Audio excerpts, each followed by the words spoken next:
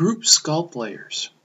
So I have a variety of layers up here for my face and I'd like to group them together.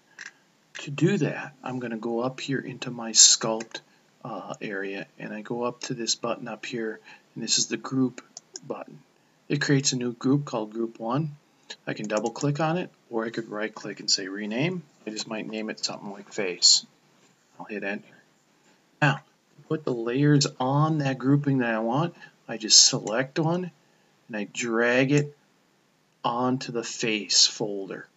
I can grab, uh, pick with my left mouse button, drag it onto the face folder, and same thing with the veins. I pick on it with my left mouse button, I drag it onto the face uh, uh, folder, and I can even do uh, one that's on a different subdivision level. So I can drag it up onto face, let it go, and everything's under my face then. So uh, I have created a new group at this point, uh, and I can turn on and off the visibility of this group by just clicking on this button right here. And this now then uh, turns off on and off the visibility of that group oops, sorry, of the group rather. Um, so uh, I turn on and off the visibility of the group and everything that's below this group turns on and off. So I can just pick on and off and turn that face group on and off. I can actually merge the sculpt layer group. So I can take all these layers and merge it into one uh, into one.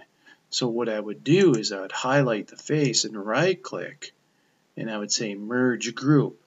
And when I merge the group, then all those layers come together as one. Now, I'm not going to do this because one of the things you should note that if you merge the group, you can undo it or redo. So all the undo and redo manipulations are lost in your layer groups.